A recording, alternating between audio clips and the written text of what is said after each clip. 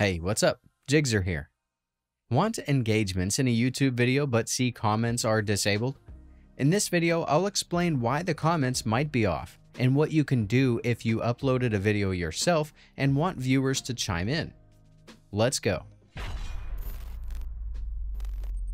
You can't directly activate comments on videos you watch in the regular YouTube mobile app.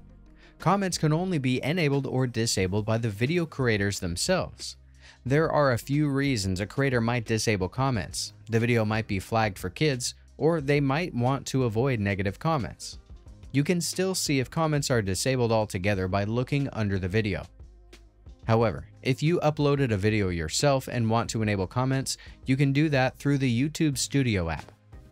If you don't have it yet, you can install it on the App Store.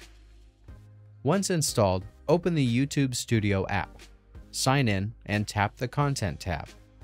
Select the video you want to edit, and then click the pencil icon at the top of the screen. Swipe over to More Options, then choose the Comments option. Here, you can choose to enable or disable comments. Tap on and click Save to apply the changes.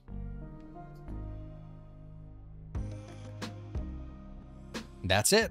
If I could help you, feel free to give this video a thumbs up and don't forget to subscribe. Leave a comment down below if you have any questions. See you next time. Bye.